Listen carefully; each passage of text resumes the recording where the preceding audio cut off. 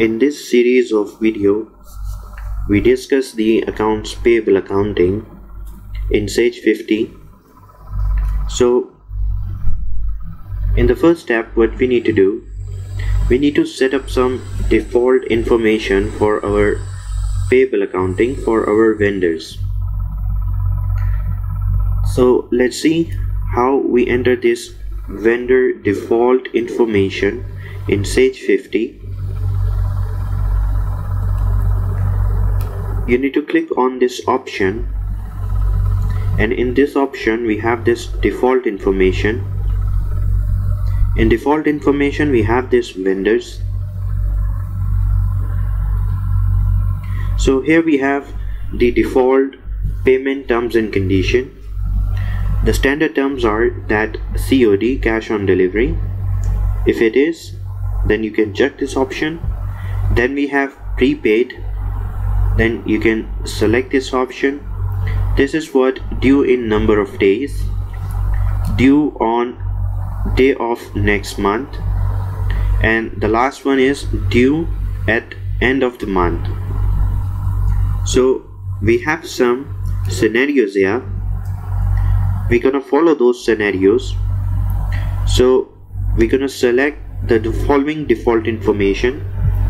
Due in numbers of days net days are 30 and discount in 10 days. If the if you pay within 10 days the vendor they are giving us 2% discount and we have a credit limit of 50,000 so these are the default information which we want to set up uh, to create our vendors.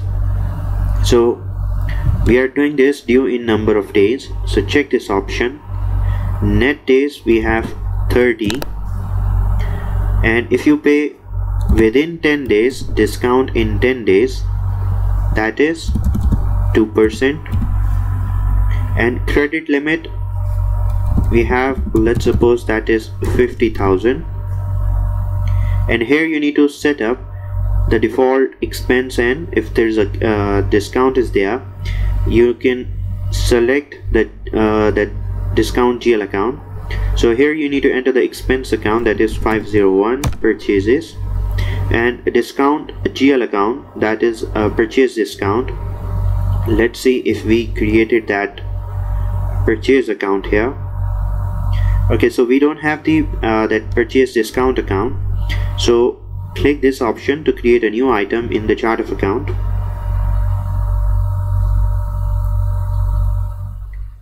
and I'm gonna create uh, 914 and that is purchase discount.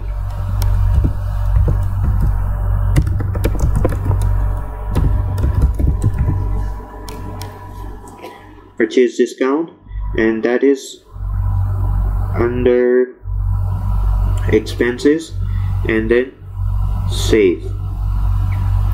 So that is 914 so that is our default payment terms and conditions.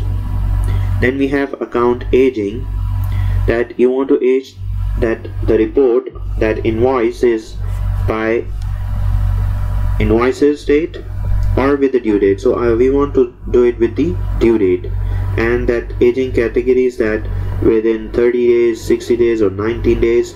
And that is over 90 days. So we're going to use the default information then we have this custom fields that if you want to enter some uh, the field labels while you are creating the vendor master record when you are creating the vendor master so these additional fields this can be uh, enter in the master record. And if you want to enable if you want to enter something new by yourself you can check this option and here you can write that additional field status